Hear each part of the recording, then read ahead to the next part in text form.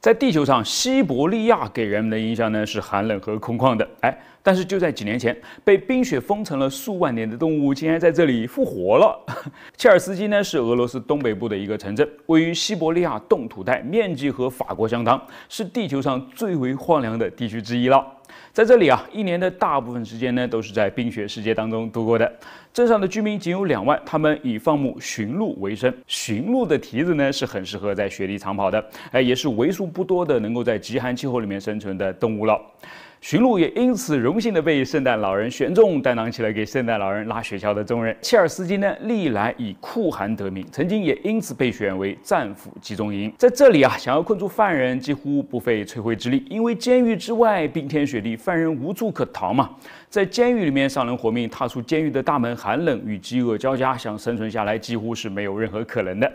如今战俘集中营消失了，哎，但是这块土地呢，依然像禁地般的存在，极少有外来人口涉足。但是对于科学家而言，该地区呢，可能会对探索地球的未来起到关键的作用啊，因为切尔斯基已经渐渐失去他最初的模样了。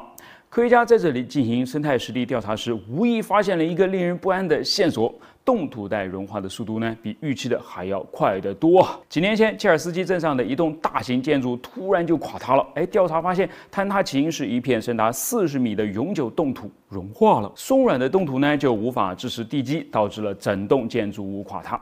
但这个不是个例啊！科学家用钻头钻了几米的地下，竟然发现了浓浓的泥浆。哎，这就让科学家们难以置信啊！切尔斯基可是世界上最冷的地区之一啊！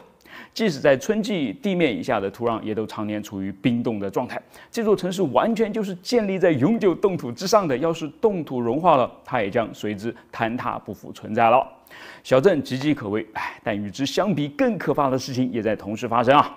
甲烷是地球上温室效应最强的气体之一了，每分子甲烷的吸热量呢是二氧化碳的二十一倍。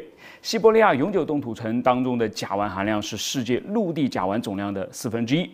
自上个冰河世纪以来，西伯利亚地区的甲烷就一直被封在永久冻土层当中。一万年前至今，只有极少量的甲烷会从这块冰封的土地下面逃逸出来。但是好了，现在这里的湖泊呢，正在渐渐融化，甲烷正在以越来越快的速度泄露出来了。二者相辅相成，形成了加速气候变暖的恶性循环。一旦酝酿已久的甲烷找到突破口，就会源源不断地向外排放，永不停歇啊！随着西伯利亚冻土层的融化，啊冰封在冻土层下面的史前生物遗骸也重见天日了。西伯利亚呢，就像是一个天然的大冰箱啊，把死掉的动物急速的冷冻起来，于是就比较完整的保存了下来嘛。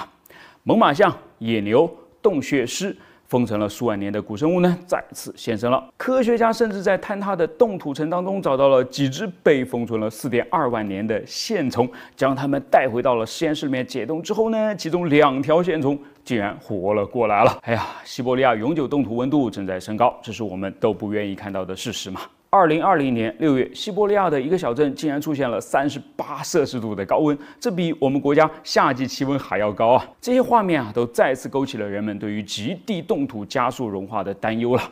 北极永久冻土到底还能撑多久？北极动物的最后一片家园在哪里？要是再往下问，地球未来的命运又将如何呢？